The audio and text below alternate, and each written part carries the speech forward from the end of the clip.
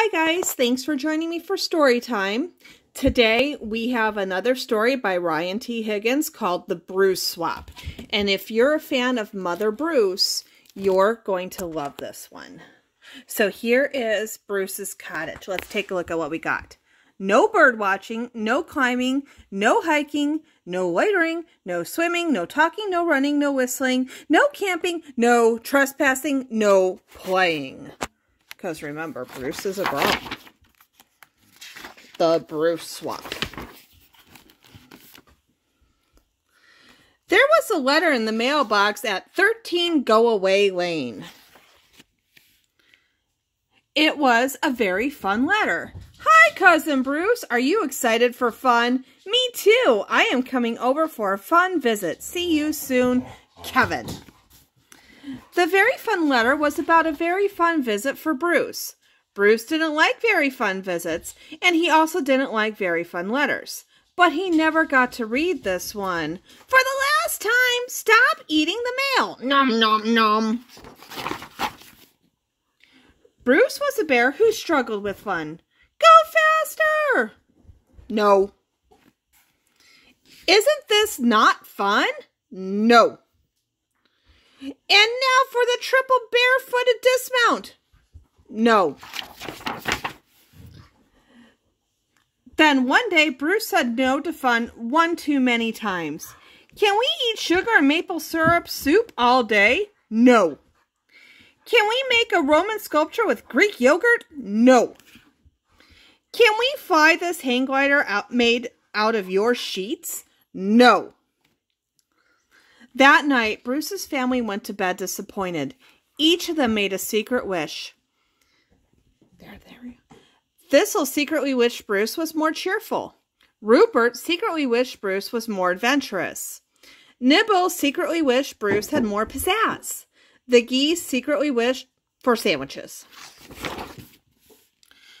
Early the next morning, before the first rays of sun crept across Soggy Hollow, Bruce woke up to go on a fishing trip, alone, by himself. He left a note, of course. Gone fishing, don't make a mess, Bruce. But nobody read that note either. Nom nom nom. Soon everyone was awake. I wonder what we're up to today. I hope it's something fun. Nobody knew Bruce had gone fishing. Nobody knew Kevin was coming. And also, nobody knew who Kevin was.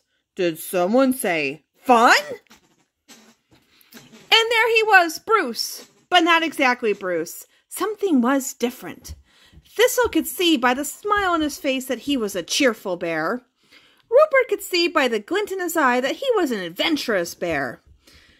Nibs could see by the bounce in his step that he was a was a bear with pizzazz and the geese could see by his basket of sandwiches that he was a bear with sandwiches. Rupert said, My dream came true. Thistle said, Squeak! My wish came true too.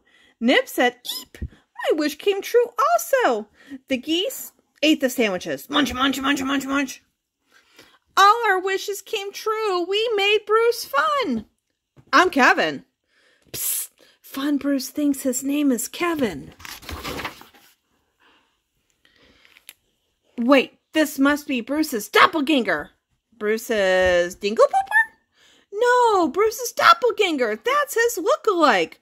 Our wishes must have swapped Grumpy Bruce for this fun Bruce. Ah, so that's what we have here. It's a classic super duper dingle pooper swap.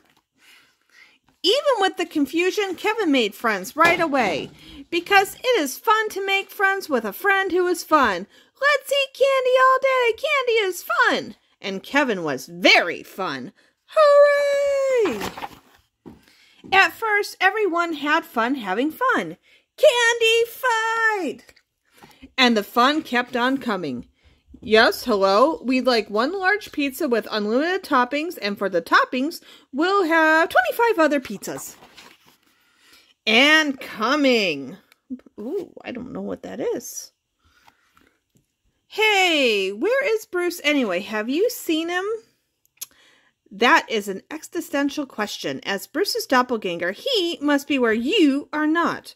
Whoa. I have no idea what you just said. Let's have more fun. Fun, fun, fun. Let's all shout everything in shouting voices instead of talking. Shouting is fun. And even more fun. Indoor pools are fun. This might be an electrical hazard. Some of the fun was questionable. Are you sure this is a good idea? No, but it's a fun idea. Soon, nobody was having any fun having fun anymore. Except Kevin and Kevin's fun friends. We love fun.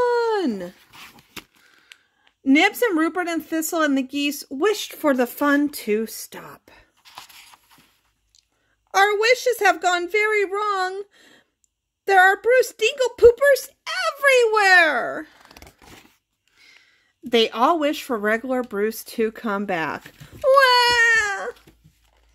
And Kevin wished for more fun. Whoa.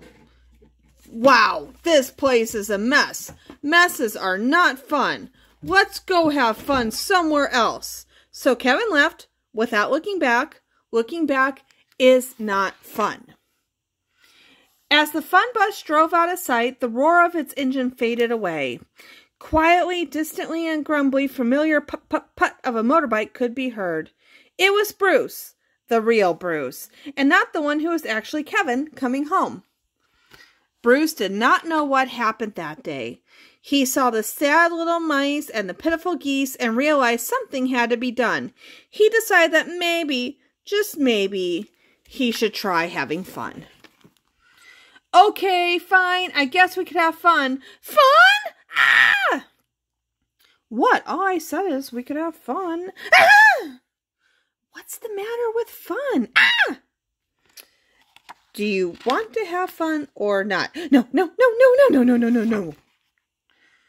Bruce's family said no to fun one too many times, so Bruce gave up on fun and took everyone inside. That's when Bruce saw what fun had done to his house. And Bruce was grumpy again. Everything was back to normal. The mice wanted to hug Bruce all day. Bruce wanted the day to be over. And the geese wanted more sandwiches. But they got 26 pizzas instead. Delivery!